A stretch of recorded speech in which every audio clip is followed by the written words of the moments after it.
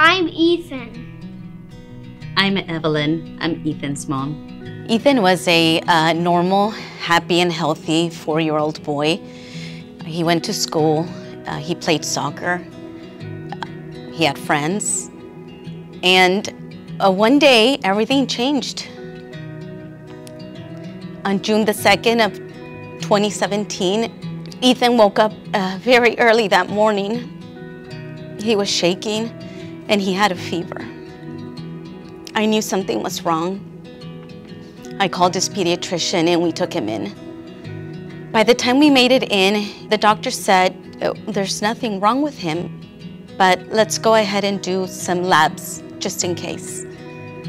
Shortly after, she came running back into our room and said, his blood work is abnormal. You have to take him straight to the emergency room. When we arrived to the ER, we didn't have to wait in line. They were expecting us already. And they quickly began to do all the testing and all the labs. A group of doctors came into our room that night and said, your son has leukemia. It was the worst news we could have ever received. Ethan began intensive chemotherapy right away. His chemo plan calls for three and a half years of chemotherapy in total. We have 10 months left of chemo and we are counting down the days. Yeah, I've been taking needles ever since I was four. I'm a leukemia battler.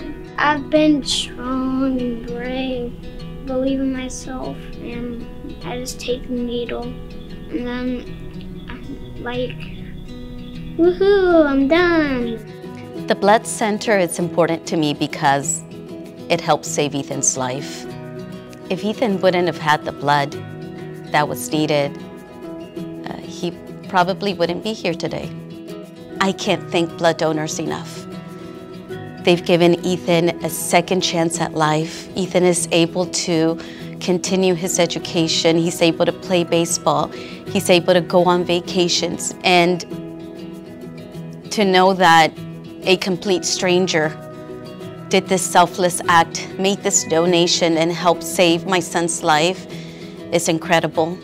For the rest of our lives, we will be grateful to donors and to the Blood Center. Thank you is not enough.